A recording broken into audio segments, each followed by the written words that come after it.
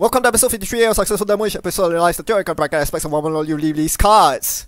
Today we'll be looking at the Jinteki faction in Reign and Reverie. And as I mentioned in a previous episode, uh, every faction in Reign and Reverie uh, was only given 8 cards, but the designers managed to shape uh, you know, a very interesting characteristic or feature of each of those factions, shaping them using only eight newly designed cards, which is pretty awesome. For the Jinteki faction, we notice that basically all the cards have to do with uh, advance, uh, ha- have some sort of synergy with advanced ambushes and or access force accesses. You know, forcing the runner to access certain cards that they don't want to access that are installed, or making it easier uh, to get advanced ambushes into play. We know that uh, cards like Project Junebug, cards like Cerebral Overwriter, just haven't been seeing much play because they were not there in terms of the power level, and I think this is an attempt to push them up. Hopefully, they'll be semi viable. I don't think so.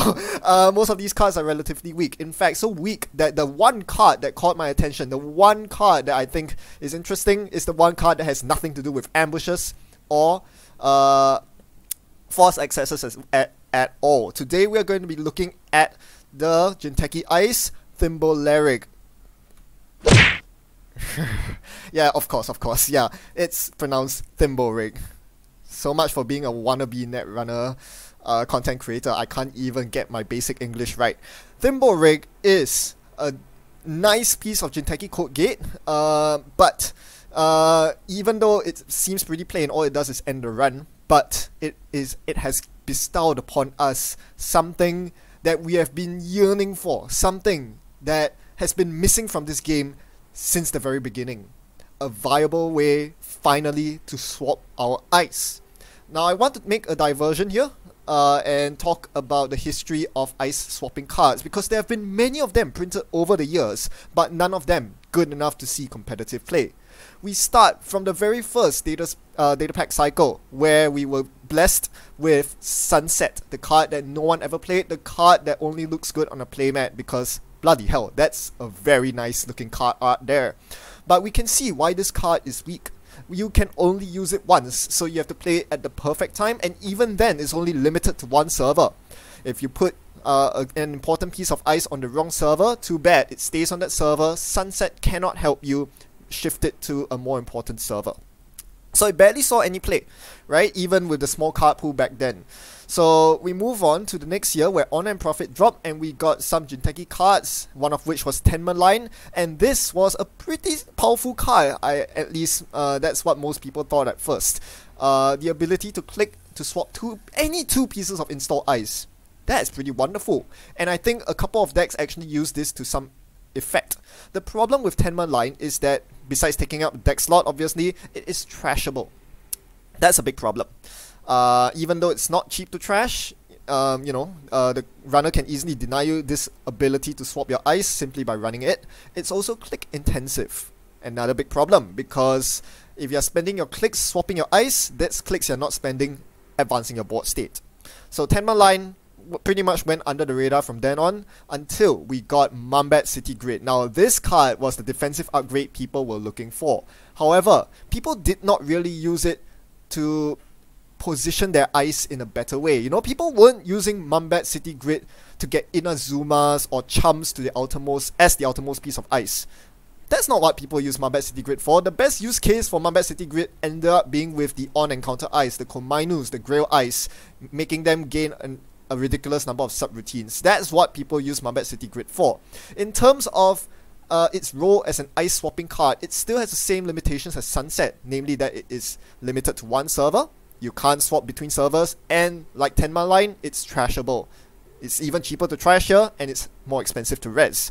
So Mumbad City Grid, decent uh, defensive upgrade for in conjunction with taxing ice, not good for swapping ice.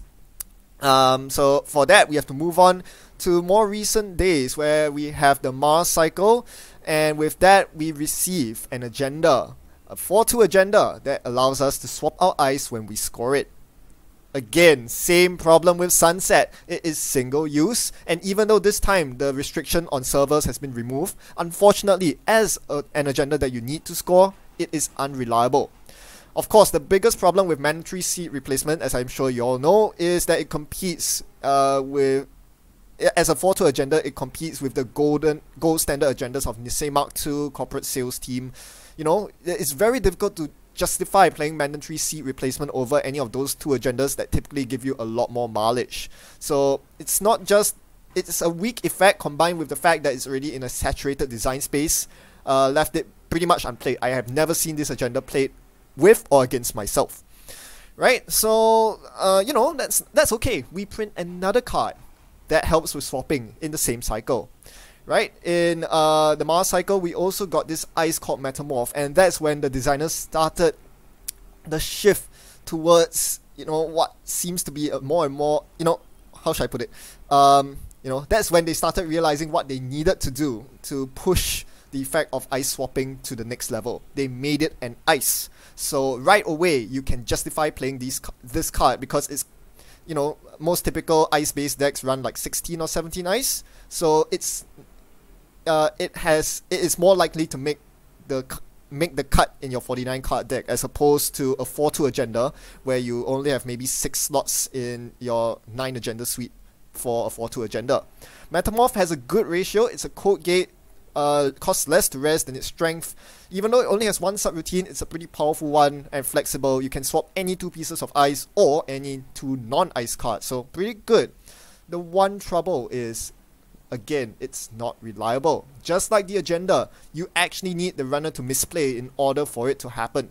And when it matters the most, somewhere in the mid to late game where you need to rearrange all the ice on your servers, Metamorph won't fire, barring, say, a Marcus Batty trigger. And that's kind of a waste of a Marcus Batty trigger, not to mention a pretty big two card combo. So, yeah, all these cards, all with the right intentions, ice swapping's pretty fun, but all with their respective drawbacks that make them unplayable or not competitive at the very least. And then enter Thimble Rig. It addresses every single one of those problems that I put in the bullet points. It is able to fire at least once per turn, unlike Sunset, which is single use. It is not limited to one server, unlike Mumbad City Grid, so you can swap ice across servers. It is not normally trashable, it doesn't have a trash can on it. It is clickless, unlike Tenma Line, so you know you're not losing efficiency, you're just spending the one click to install Thimble Rig. And finally, unlike the Mars Cycle cards in uh, Seed Replacement, in Metamorph, this is actually reliable. It's like Metamorph, except that the effect is printed as an inherent, innate part of the card as opposed to a subroutine. So uh, it triggers when your turn begins or when the runner passes Thimble Rig, both of which are very reliable triggers. Um, all you need is to basically find a way to res Thimble Rig, which should be happening because the runner's running, and guess what? Your Thimble Rig is live, and now you can swap seas all around, all day, every day, clicklessly, and that's really awesome, right? To top things off, you know, uh, this wouldn't be a good card if it weren't a good piece of ice outside of the swapping effect, but it actually is a very good code gate. In fact, it is the best uh, binary code gate that exists right now. We, we remember pre-rotation, there were two cards, one called Quandary and one called NEXT Bronze. Both were very reliable, cheap end to run code gates, but they have seen they are since gone. Uh, now we no longer have the cheap one to rest quandary, nor do we have the NEXT Bronze that scales with strength. Instead, all we have is Enigma, which is pretty expensive at 3 to rest. Thimble Rig fills that gap, fills that niche, and basically replaces Enigma in a lot of scenarios because you trade one subroutine, the loser click subroutine, for this swapping effect, which is very valuable. So because I mean it's already the swapping effect, as good as it is, is one part of the ice. The other thing is that it's cheaper than Enigma. If you're looking for an end run code gate that's cheap, this is your go-to, right? Thimble Rig is the best there is out there now that NEXT Bronze and Quandary no longer occupy that design space. So, some of you might be asking, uh, I'm overlooking a very important drawback of Thimble Rig, and that is that unlike all the other ice swapping cards I mentioned before, Thimble Rig can only be swapped with another ice. You cannot swap two other pieces of ice um, on the board. So yeah, it is true, that is a downside. However, Thimble Rig is a very flexible card and very skill intensive. There's so many ways you can get Thimble Rig um, to produce the ice swapping effect that you want. All you need is a bit of creativity and imagination. Let's do a demonstration here. we are playing an AgInfusion deck. Uh, we guarded HQ early with Thimble and Surveyor because uh, we you know we were facing a lot of HQ pressure, but now we want to score agendas and we want to get our Surveyor onto the scoring remote. In this scenario, you can't swap Surveyor and a remote ice directly, right? Unless there's a Thimble Rig on the remote server, you're not getting a Surveyor there. However, however, if you have a Thimble Rig on any other server, including the HQ server that we have, what we can do is we can do a Thimble Rig swap from HQ to the remote. This places Thimble Rig on the remote, uh, leaving it in a prime position to then later swap the Thimble Rig with the Surveyor. So after two swaps, you get the desired effect. Surveyor is now on the remote, and that's exactly what you want. So Thimble Rig can actually allow you to arbitrarily swap ice uh, around the table as and when you see fit. It's just a matter of creativity and time. You need to trigger Thimble Rig enough times in order to make the swap work. But that's not difficult either because Thimble Rig has a very reliable trigger. The worst case scenario is you trigger Thimble Rig once a turn. So after two turns, you get Surveyor in the correct position. That's pretty good, I should say. And there's basically nothing that the runner can do to stop this effect other than to destroy your Thimble Rig right, with ice destruction, or maybe swap uh, your ice with inversificator or something. But those are very niche conditions. Generally, you can get the ice in the position you want with Thimble Rig as long as Thimble Rig is rezzed. So a very powerful card, very skill intensive, and we'll see just the sheer number of use cases that Thimble Rig uh, provides in this playthrough. We are going to be playing this AgInfusion Glacier deck. Uh, yeah, I know it seems cheesy to play Surveyor all the time, but it's pretty good. Uh, we are going to spam ice with Jinja City Grid and Surveyor, and Thimble Rig will help us get our Surveyors in the right position. Other than that, it's a very standard Glacier deck, a standard 8 agenda suite. We are trying to chain Niseis, and we have NGO Fronts to bluff, and the rest of the cards are just solid money cards or scarcity to get rid of uh, counter currents like Employee Strike. Now, one uh, one interesting deviation is that instead of using Marcus Batty as the typical uh, go-to defensive upgrade, we are going to um, experiment with Daruma instead. Uh, another new card from Reign and Reverie. Let's see how this deck performs in the playthrough.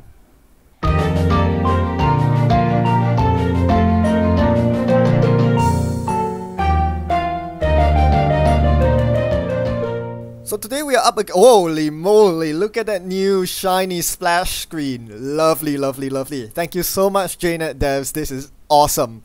Uh, yeah, this looks completely badass. Okay, uh, we're gonna keep our opening hand for obvious reasons. There's a Rashida there, there's a money in IPO, and there's a couple of ice. Not the ideal ice for centrals, but don't forget we are running Thimble Rig, so ice positioning not the biggest deal. Right, uh, my opponent mulligans. The nice splash screen makes that very clear, and we mandatory draw into hedge fund. Like that's the perfect ca- card to draw, isn't it?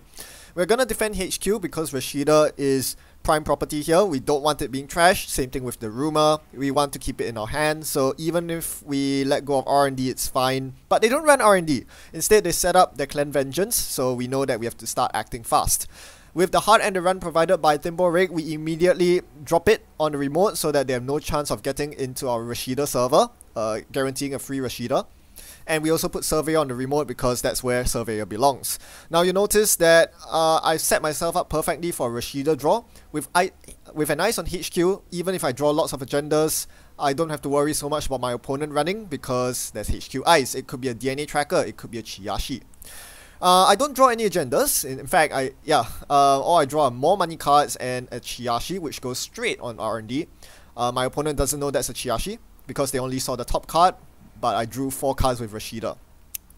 Now they installed the turning wheel, so it's nice that I have two spiky eyes on centrals so that they can't just farm turning wheel counters freely. At this point, I'm more than happy to score a Nisei, except that I just drew it with one click remaining. So I've got to wait till next turn to uh, score the Nisei, but given that my opponent doesn't really have a Black Orchestra out yet, I think it should be safe to score the Nisei.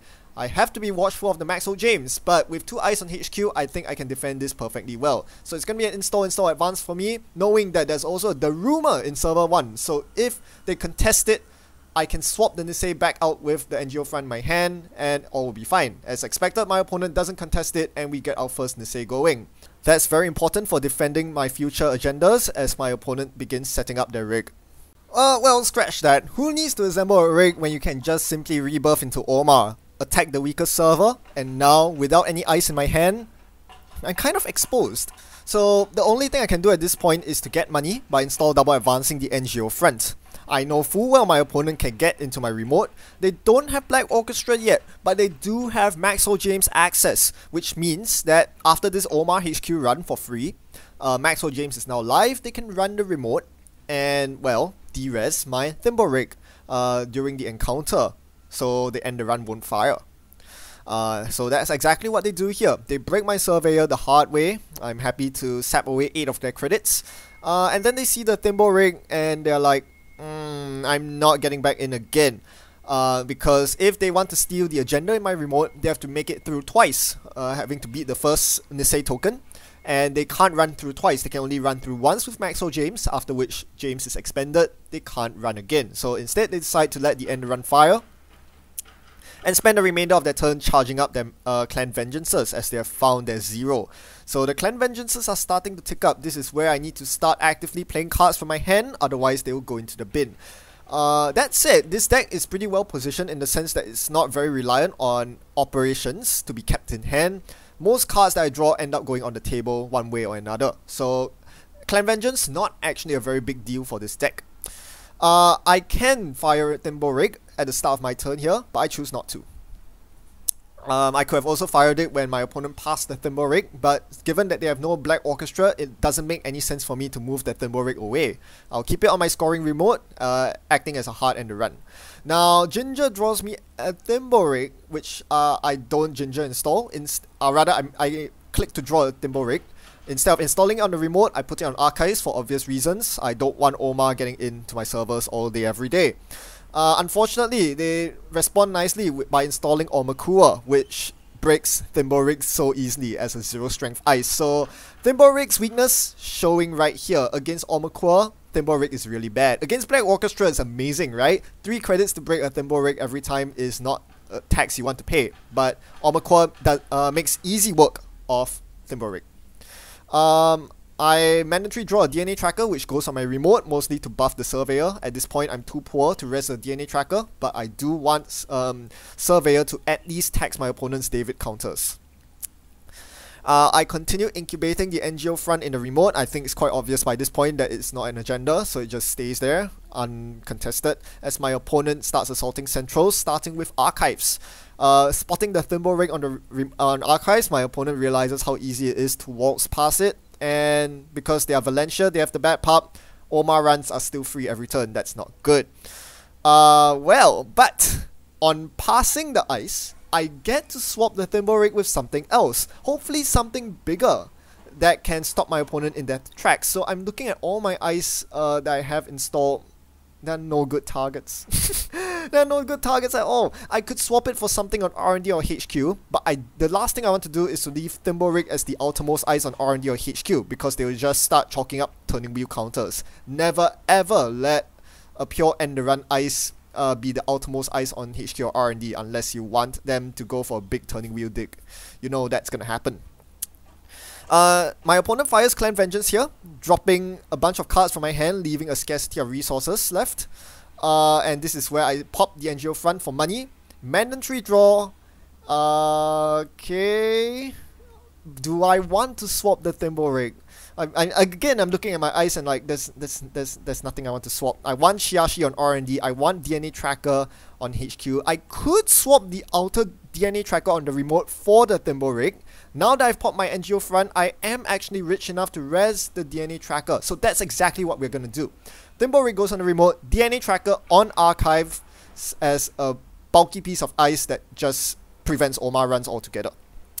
Uh, we reveal another DNA tracker which goes on the remote, again, mostly there to buff up Surveyor. But as we just saw with Thimble Rig, it doesn't just buff Surveyor, it cheats the DNA tracker into play for free so that we can swap that DNA tracker onto archives freely with Thimble Rig later. So yeah, Jinja Grid and Thimble Rig doing lots of work together uh, by you know clicklessly buffing up my archives with a DNA tracker that I had that was installed somewhere else uh, with Jinja Grid earlier. It's a very nice combination, and now I feel a lot safer knowing that if my opponent runs Archives, R&D, or HQ, they're in for a nasty treat. They're gonna have to expend all their David counters. Right, I called for my opponent to act on the Clan Vengeance. They didn't, so uh, I just installed Advance whatever I drew. I don't remember if it was a Nisei or an NGO front, but I know that uh, they missed it. Uh, it's now in my remote. They missed the opportunity to snipe it with Clan Vengeance. So now my opponent Omar runs, and this is the time to uh, show them the bad news with DNA Tracker. Without a decoder, they're forced to use David counters here. Uh, and that's the end of Omar runs. That's the last Omar run they're gonna get. They run HQ and see scarcity of resources, so they play Employee Strike on the turn before running my remote, so I can't AgInfusion boop them.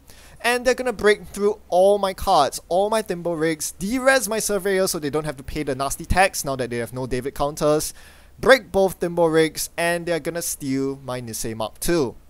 Not much I can do about it. I have a Daruma in the remote, but no cards in hand to swap Daruma with because Clan Vengeance sniped them away. So yeah, Clan Vengeance actually doing work against Daruma. Uh, without cards in hand, Daruma doesn't save your agenda. So that's very unfortunate. Here I was thinking of whether I should swap Thimble Rig with something else. There's a Swordsman on my HQ, and a Swordsman is a lot more taxing than Thimble Rig is. Um, Swordsman obviously costing 3 to break with MK Ultra, but only 1 to break Thimble Rig with Aumakua. Ha! Surprise! That's not an agenda, that's an NGO front. That run was for nothing. Bamboozled! Um, I did not swap it for the Swordsman. Instead, I swapped Thimble Rig for the Outermost Ice on my remote, which was a DNA tracker. The main reason for doing this is I wanted DNA tracker on the inside unresed unrest so that I can use AgInfusion's ability to boot my opponent at the base of the server. Thimble Rig allows you to buff up NGO, uh, ability by putting Unres Ice as the innermost ice on the server. You can't normally do this. Normally, you need to install ice on the outermost position of the server, but with Thimble Rig, you can simply install an unrest ice and then swap it around with Thimble Rig such that it's now the innermost ice. It would be really nice uh, then to tax your opponent with AgInfusion's ability if not for the fact that I'm employee struck right now. So the move that I just made was completely useless. Great in theory, but completely useless. Uh, because I can't use the inner eyes to boop when I'm under strike. Uh, I did have a scarcity in my hand, but my opponent smartly seeing the scarcity in my HQ fired Clan Vengeance before I got the chance to play the Scarcity as counter current. So with two Scarcities in the bin, I'm probably going to be under strike for the rest of the game. That doesn't look good for me because AgInfusion, I lean quite heavily on my ID ability to tax my opponent into running uh, my server multiple times. Right? But we still have a Nisei Mark II counter, and as they always say, when there's a Nisei, there's always a way. So we are gonna lean on our Nisei counter to get uh, our agenda scored. Our remote, not as taxing as we would like, but don't forget there's a surveyor there, and my opponent does not have any David counters anymore. So that's always something we have in our favor, and this is why we run surveyor in Glacier decks. It's one of the very few pieces of ice remaining in the game that doesn't just fall apart to a stim hack, right? Okay, so our opponent sets up. And uh, now we are given the opportunity to Thimble Rig swap again. Uh, once again, we move the Thimble Rig as far out of the server as possible. Uh, this is, uh, you know, to keep our opponent in suspense, right? You want your unrest eyes to be in the inside of the server, so uh, they don't know what's coming. They have to invest a lot into breaking the outer Thimble Rigs before they see the nasty stuff that's inside. With no Clan Vengeance re uh, remaining, uh, we can now, you know, um, fairly safely start doing stuff, start doing actual stuff like using Rashida Jaheem. Uh, Rashida's actually pretty awful against uh, Clan Vengeance because as soon as you draw three cards with Rashida, they just pop Clan Vengeance and they all go in the bin. Uh, but now without Clan Vengeance on the table, we are all good. Our opponent here runs R&D and expends two turning wheel counters, so I'm forced to counter with a Nisei Mark II usage because they have turntable installed. I don't want them to swap my Nisei counter away, might as well use the Nisei counter there. It turned out that it didn't matter, my opponent wasn't going to hit an agenda anyway. Obokata was the fourth card down in R&D, so a bit of a waste, but never mind. Uh, we're still under strike. Oh, we're not. We just played a scarcity. So we could boop our opponent into archives here. I'm very, very strongly contemplating it. Nope, we are gonna res the Chiyashi. I checked, there are no paper clips in my opponent's bin, and they don't have David installed. So this is a huge tempo loss for my opponent. I misclicked there. Uh, my opponent did not bring any subroutines on Chiyashi even though they had an AI installed, so they don't mill cards from their stack, instead they just take 4 net damage and end the run. They're still alive, but barely. They've Their Dirty Laundry fizzled, so 5 credits gone down the drain there. Um, yeah, that Chiyashi coming into play, I installed it very early on in the game, but now I finally have a chance to bamboozle my opponent with it. No paper clips, get wrecked son. And of course, they can't safely run any other servers anymore because AgInfusion boop. They uh, get boop into Chiyashi, they lose. So we fire the second Rashida. And we see a bunch of agendas. Um, we are not going to install the Chiyashi on the remote. I think our Surveyor is tanky enough as it is at 12 strength. Instead, we're going to leave all these ice in our hand to pad out our hand because at this point, R&D is thick full of agendas and they're going to start coming to HQ. We need to have as many non-agenda cards in our hand as possible such that they, uh, my opponent isn't able to run HQ and just win outright. Uh, however, I do get the second surveyor on the remote. Uh, I drew the surveyor as my mandatory draw and, you know, having a surveyor on the remote is nice. One surveyor with a huge stack of ice is half as good as two surveyors with a stack of ice. So we have two surveyors on our remote now, along with an unrest DNA tracker and two thimble rigs. I trashed some of my remote ice because I'm pretty poor. I did not want to foot the install costs. Uh, Jinja City Grid doesn't negate all install costs, it only negates the first four credits. So uh, five stack of ice is as high as I'm gonna go without having to pay extra. Uh, my opponent dirty laundries in safely into archives here uh, able to break it with Black Orchestra, and they're gonna see an agenda. Uh, sniped by Clan Vengeance, I think. That's the future perfect. We play the side game, I bid one, which prevents my opponent from stealing.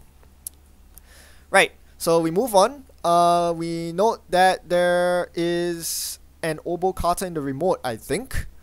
Uh, so that would be that's quite interesting. Uh, my opponent's starting to run low of cards as well, so pay attention to that. Uh, again, we are not going to install the ice with Jinja here because I'm too poor to install ice. Uh, and the DNA tracker is too expensive to res anyway. I'm now thinking of whether it is safe to double advance the Obokata. I would ideally like to advance the Obokata and have 10 or more credits remaining. That way I can res both surveyors on the remote. If I double advance here, I can only afford to res one surveyor, and that's a big problem because a single stim hack or Maxwell James will get them in. So it really is a question of do I play fast or play slow. I decided to play slow, click for 3 credits and pass the turn over, giving them another opportunity to burn my centrals. And burn they do. They burn my employee they burn my current with employee strike. They drop the Maxwell James on the table, so it's a lot of bad news for me as I'm forced to defend my HQ, losing even more credits. I'm gonna have to rest the Fairchild 2 here. It's a nice piece of ice to slow them down and to stop them from farming turtle counters, but not quite good enough. Um, they can still relatively trivially break it, and there's a Philotic in my hand. If they steal it, I'm gonna be in a world of hurt. So I can't boop. They access HQ, one card, two cards in fact, with Turning Wheel, but with uh, six, uh, 40% chance to hit the Philotic, they missed. Alright, so we draw into another Obokata, and I'm like, okay, I'm agenda flooded. There are too many agendas in deck. Um, by this point, I've drawn through 80% of my deck, but I've only seen half my agendas. So R&D is actually full of agendas. Archives has a future perfect in it. You know, agendas are everywhere. This game has gone on far too long, and I'm not scoring enough agendas. This is really bad, as my opponent continues assaulting HQ, another 40% chance to hit either the Obokata or the Philotic. Do they hit it? Are they gonna hit either agenda? I think they want to run HQ just for the Maxwell James trigger so that they can then run my remote um, and steal the remote Obokata. Here, I'm thinking about resing the Swordsman on HQ. That would force them to pay 3 credits with MK Ultra to break it. I'm just looking at my remote eyes now. I know that I can only afford to res one Surveyor, but that would immediately get de-res with Maxwell James. So instead of spending 5 on a Surveyor that would be de-res anyway, I'm going to spend 3 on a Swordsman. That forces them to break the Swordsman for 3. Down to 1 credit, my opponent can now challenge my remote with the bad pup and clicking for credit. They can run my remote, break all the thimble rigs, and get in. So um, I'm going to I'm gonna swap a thimble rig with swordsman. So now my remote's more taxing. but I can't stop them from stealing this Obokata. They have too much money, and I don't have enough money to res my surveyors. So that agenda is theirs, but this puts them on 3 hit points. You notice after stealing the Obokata, they can no longer steal any other Obokatas for the rest of the game. They are not on Film Critic, so they can't afford the 4 net damage cost of stealing the other two Obokatas in play. This means that the highest priority for me now is not to score the Obokata, rather it is to get rid of the agendas that are easy to steal, the Philotic Entanglement. This is why it immediately goes in server 1, and my opponent has to play the guessing game here. Do you think it's a Philotic? If so, you should run. Do you think it's not the Philotic? In which case, you should hammer my centrals and find the Philotic. So it's a very tense game here. Uh, this Philotic can make or break the game. Unfortunately, I'm just not rich enough to defend my remote. I'm one credit short of resing both surveyors on the remote. I need both surveyors, otherwise, um, my if only one surveyor is active, my opponent can just de-res that one with Maxwell James. So I'm really hoping they don't see that line of play. The perfect line of play will be to run HQ, activate Maxwell James, and then run the remote, de-resing any surveyors that I res. If they steal the Philotic this way, it'll be very hard for me to climb out uh, to win this game. Unfortunately for me, I forgot to consider the fact that my opponent was a top 4 finisher at the Euros 2018 Championship. Obviously, they were gonna know the right line of play. They ran HQ. They are gonna trigger Maxwell James. And at this point, with Thimble on HQ, I need all the tags I can get on my remote, all the res I can get on my remote. So Thimble moves to my remote server. Um, so that's an extra credit that my opponent has to pay if they want to get through server 1. Thimble of course, activates when you pass uh, Thimble So I was able to swap the HQ Thimble onto the remote as a last last ditch defense uh, as my opponent attempts to assault my uh, Philotic in the remote. On the last click, my opponent runs my remote. I forget to rest the surveyor here. Please pardon all these gameplay mistakes. That was uh not uh I needed to rest the surveyor there. That was um you know a slip of my mind. There was a very important reason why I needed to do that, even though my opponent uh just instant Maxwell James it. The thing I'm about to do is after my opponent passes the last Thimble Rig, I swap it inside like a Mumbad City grid. And they have no money left. They have zero credits. They need one credit to break the Thimble Rig, but they don't have one credit. The Thimble Rig bamboozled them. uh, and with the Maxwell James gone, they couldn't de-res the inner Thimble Rig. This is why I needed to sacrifice my 5 credits uh, to uh, uh, to burn the Maxwell James because I needed them to not have Maxwell James at the end. So they were exactly one credit short of making it through the remote. Thimble Rig coming in big time because by swapping it down and down the, Jinteki, the Jinja Grid server, my opponent could not afford to pay the Thimble Rig tax. And I scored a Philotic. That's one net damage, they are down to two hit points. Uh, not that it matters because it hit the I've had worse, which was a dead card anyway. But wow, wow, wow, wow. Um, no one would expect a zero strength code gate to save the day, but save the day it did, right? Now we win the game as soon as we score the Obokata. We know our opponent has no way to steal it. I may as well just install it out in the open. Um, but I have to be concerned that my opponent has a couple of outs remaining. There's a future perfect in the bin, and there's still two Niseis unaccounted for. Because they ran HQ with a Nisei in it, I want I needed to boop them to R&D so that they would lose on Chiyashi. Right? They can't break Chiyashi. Uh, but it turns out my opponent was also misplaying. They forgot to play the strike before running. I just scored the Philotic, so that clears employee strike. That's fine, we take it back. Uh, I've been making a lot more misplays than my opponent anyway please pardon the misplays. Uh, I was pretty tired when I played this game, so a lot of takebacks. Um, I'm sorry if you don't like them, but I rather have an enter- entertaining game where we play our best than to you know um, enforce the mistakes strictly and have a less entertaining game as a result. Because all we can say is, "Whoops, I misplayed."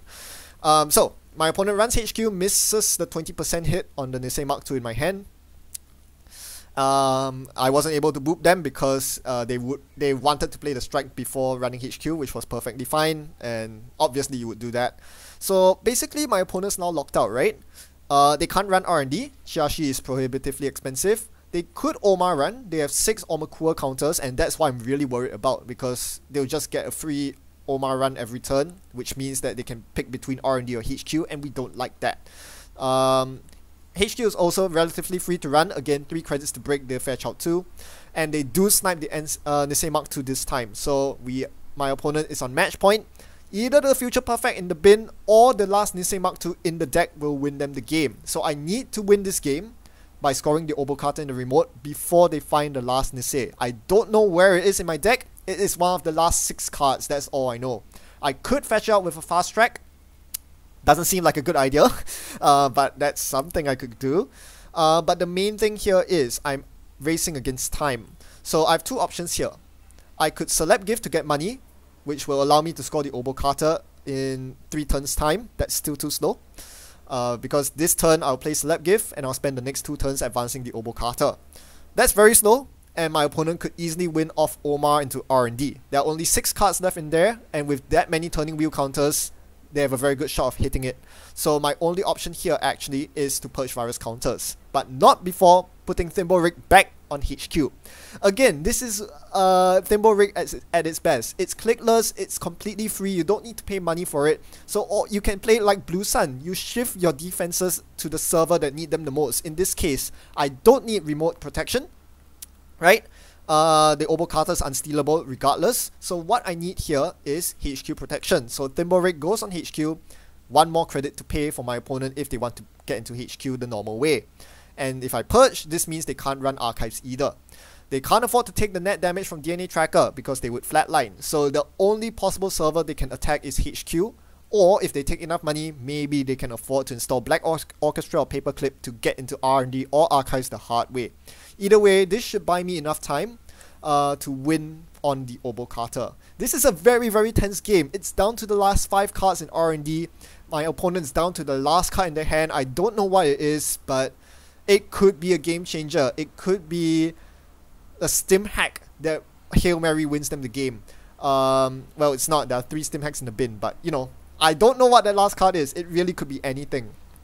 It could also be the one hit point that tanks damage from a swordsman or a Fairchild 2 uh, that makes the difference, or a DNA tracker even. So, a lot of possibilities my main concern here is to make sure they don't get, have any free way to farm turning wheel counters. So again, making HQ more taxing here by swapping my Thimble Rig on HQ with a more taxing ice in Swordsman. Swordsman is now an ice that they cannot afford to break because they just trashed their MK Ultra to Fairchild 2. Um, so they need to either get it out again and break Swordsman, which costs 5 credits, or lose their Aumakua, which basically puts them out of the game. Uh, they can't afford to have Aumakua trash at this point. So here I begin the slow climb to advance my Obokata in the remote.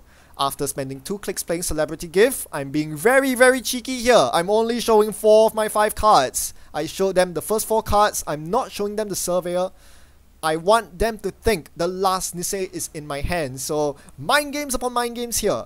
Maybe my opponent will fall for it, maybe not, but in any case, I'm doing that whether I'm I have the Nisei in hand or not because I do not need the extra two credits from showing the last card. Again, the remote ice is completely irrelevant here. They can't steal the remote Obokata. Um, so technically, I could actually allow them through this remote. They access the Obokata, they can't steal it. That's fine. The reason I chose to res the Surveyor here is twofold. Firstly, it slaps two tags on them, which gives me the option of trashing the turning wheel uh, negating the multi-axis threat. The second reason, more importantly, is that I don't want them to farm Aumakua counters on my remote. That remote is bloody easy to break. If I don't rest the surveyor there, it's one credit to break to run it each time because they have one bad pub. Uh, Thimble Rig costs two credits to break. So that is completely unacceptable. Um, so I needed to sacrifice tempo there to rest the surveyor, which puts me down to two credits, which prolongs uh, the amount of time I need to score the Obokata. Actually, it doesn't exactly prolong the amount of time it needs to score the Obokata. I can still score the Obokata two turns from now. I have exactly enough credits to do so as you will soon see. Um, but yeah, uh, we discussed this uh, Surveyor Resing play after the fact, and uh, Tug make uh, my opponent Tug make, made a very good point. I did not need to rest the surveyor at that point at all. If my concern was taxing my opponent uh, on Core farming, what I could have done was to easily just continuously swap Thimble rigs uh, throughout the server. So, you know, just uh, shift both Thimble rigs to the outermost ice, and if they try to rerun server 1, I would just slowly cascade the Thimble rigs down and down and down through the server, forcing them to repeatedly encounter the same Thimble rig and spend 1 credit breaking it each time.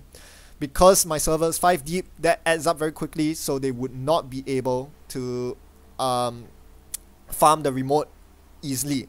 That is what I should have done. I should have just made use of the two Thimble, Thimble rigs to generate a taxing remote. Uh, by raising the surveyor, I left myself very vulnerable as I realized here that by triple advancing the Obokata, I leave myself with only one credit in my bank. It becomes trivially easy for them to run archives and steal the future perfect, and we can't have that. So, um, yeah, mistakes were made there. Um, this is why I needed to save the surveyor money. But yeah, this just goes to show how incredibly flexible Thimble Rig is and how well it synergizes with Jinja. Um, you can just have you know, it's, it's, it's as though you have a Mumbad City Grid on your server without actually playing Mumbad City Grid because your Thimble rigs act like Mumbad, Mumbad City Grid fodder. It just goes down and down and down through the server, and your opponent has to pay for the Thimble rig tax every time. Um, that could have carried me on the remote. Ah, that's amazing. Thimble rigs, so many users.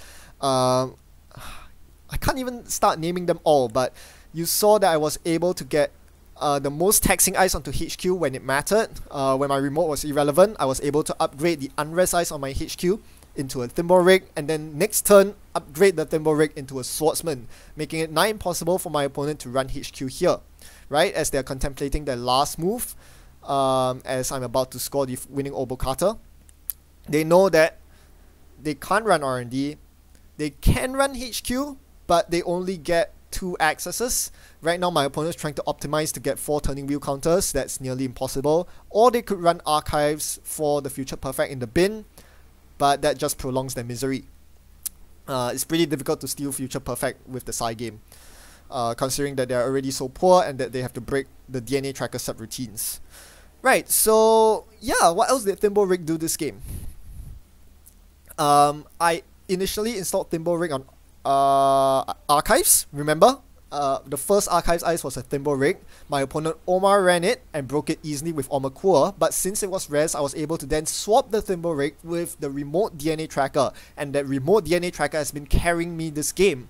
Because if the if the archives ice was an end the run code gate, my opponent would have just ran archives every single turn to steal the future perfect and win the game. With a bulky DNA tracker on the remote on archives, however, they do not have the option to steal the future perfect from archives easily. So that's a very huge deal. Against a clan vengeance deck, having the ability to swap in a DNA tracker on archives is huge. So every single central server has a big bulky piece of ice that is impossible for my opponent to break efficiently on the outside. Chiyashi, DNA tracker, fetch out 2. They can't farm turning wheel counters, they can't easily run those servers, and so my opponent's just stuck. With 9 credits in their credit pool, they can only viably make one run. And the, the real question is which server are they gonna attack? I hope my celeb give distraction paid off. Maybe. Uh, if they if they run HQ, it will be futile. There are no agendas there. If they run R and D and expand the turning wheel counter, there are four cards left in R and D. One of those is a Nisei. They have a 50-50 shot of winning the game, stealing it from under the rug. This game is all but mine. but that last Nisei could really screw the game for me. Tug is taking a very long time to think about this, and rightfully so. This is a very difficult decision. It's very difficult to be on the other side of the table, not knowing where exactly the winning agenda is. The server one agenda could have, could be the Nisei, right? You don't know for sure. Uh, my opponent didn't get to access that. They saw the survey on the remote. They might be thinking it's the Nisei I'm trying to get rid of. They don't know where the Nisei is. All they know is that there's a free agenda in Future Perfect in archives that they can't really get to, and that there's a Nisei in one of the four servers. It could even be in archives. You don't know. My opponent here was tunnel vision into getting four turning wheel counters, which means uh, collecting two of them this turn.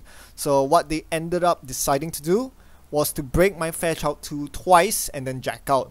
With Black Orchestra installed from the bin, uh, they break two subroutines every time and let the first subroutine fire. The first time, Aumakua gets trashed to fetch out two. The second time, they pay two credits. And yeah, that's the problem, isn't it? They can't afford to pay two credits here because then they won't have any money to run um, HQ or R&D for the win, for the Hail Mary win. So yeah, uh, Tug just completely forgot to take account, take this into account. Uh, they were forced to take the brain damage here because they just cannot afford to pay two credits. So by taking brain damage from the Fairchild 2, this means that they are down to 0 hit points and they couldn't survive the innermost swordsman on HQ. That was their plan all along, to get two turning wheel count uh, two more turning wheel counters and then run HQ last click. Uh, yeah, so the Philotic Entanglement actually was the game breaker here. If Philotic did not fire, my opponent would have one more hit point. The I've had worse that was sniped by Philotic would still be in their hand, they could afford to take one brain damage from Fairchild 2 and then one net damage from the innermost swordsman. Instead, uh, by yeah, by letting Fairchild 2 fire here, for the brain damage, they're down to zero hit points, and yeah, they just can't get through HQ, period. Uh, so they just conceded on the spot there. A bit unfortunate end of an ending, but uh, it turned out that no matter what my opponent did, there was no way they were gonna win because as it turns out, as I looked through my 4 card R&D, the Nisei Mark II was actually the very bottom card in my deck. I lucked out severe. Yeah, it was a severe case of luck out for me this game because I think at one point I drew into at least 70% of my deck and I only saw what two or three agendas out of my eight agendas. So yeah, all the agendas were clumped at the bottom of R&D, which uh, allowed me to go for this very late game uh, scenario where my opponent ran out of cards and I was able to win off the sheer fact that my opponent did not have the hit points to steal any of the two remaining Obo Carters. As you see in flatline here, uh, and also you notice that my opponent ran HQ multiple times at the correct time with a Philotic in my hand and kept missing it. Uh, lots of 40% chance uh, chances at sniping the Philotic in my hand, they kept missing it and yeah, it was just very unlucky for my opponent. They played very well, but they drew the short stick when it came to Axis luck what can I say? Thimble-Rig is one of those rare cards that I get more and more enamored the more I play it. Um, it turns out that ice swapping is a very fun mechanic. It's kind of like Inversificator. When you first look at the card, you go, hmm, pretty decent, pretty good. But when you play it, you start unveiling and discovering all the potential bullshit that you can pull off with ice swapping. It's ridiculous. So let's see what we did this game because I think Thimble-Rig, um, you know, I, I think I did Thimble-Rig justice by showcasing this game. You saw that um, firstly I was able to adjust uh, Thimble-Rig such that it compensates for my uh, suboptimal early draw. I found Swordsman as my first piece of HQ Ice, which is okay against Armour but nothing to write home about. So uh, after my opponent ran HQ and saw the Swordsman on HQ, I then quickly swapped it over to the remote where I was trying to jam uh, my early Nisei and trying to get agendas out to increase the taxation power on the remote. And that brings me to my second point. Thimble-Rig is uh, allows you uh, to adjust and reallocate your resources as uh, uh, as and when you see fit. Ultimately, uh, Netrunner is pretty much, very much a resource management game. You are working with a finite number of credits. As you saw this game, I was so poor, I didn't have any money to res those two surveyors on the remote, let alone the Chiyashis and DNA trackers that were lying around left, right, and center. Instead, I had to make u- use of what I had a res DNA tracker here, a res Chiyashi there, and make the best out of it. Thimble-Rig being so cheap to res and having such a powerful eye swapping effect allows me to redistribute, redistribute my defenses according to the ebb and flow of the game uh, as you saw moving from stage 2 to stage 3, um, when it became very clear that I no longer needed a scoring remote because uh, my opponent couldn't steal Obo Carters anyway, I started uh, redistributing my defenses back onto HQ. The Swordsman goes back onto HQ as a 3 credit tax on HQ. So it's awesome that way.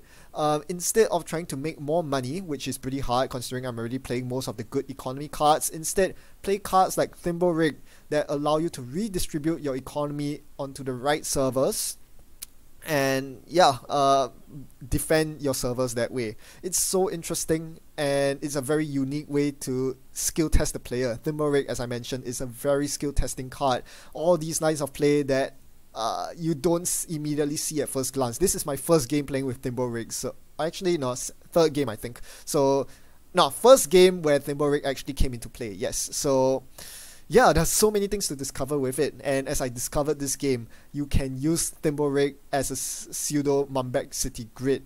Uh, as you see in picture number two, where my opponent was making that key run on my remote, all I needed to do was to swap the Thimblerig as into the innermost position to force them to encounter it again, and they did not have the credits to break it. That was amazing. Speaking of having credits, uh, I think the introduction of Thimblerig as a strong end run code game for Jinteki and being at one influence, definitely splashable in other factions as well, means that uh, you have to re-evaluate your decoder, especially if you're of the Anarch faction. Imagine if my opponent did not have Core this game. They'll just flat out lose. They cannot afford to break Thimblerig for 3 credits with Black Orchestra every single time. So now Anarch has to adjust. As strong as the faction is, you can't just use the bin breakers alone. You need some other decoder uh, to deal with Thimblerig because it's pretty darn good at its price point. Right? Uh, normally this is where I hop into the nombos and combos section, but this video has gone way over time.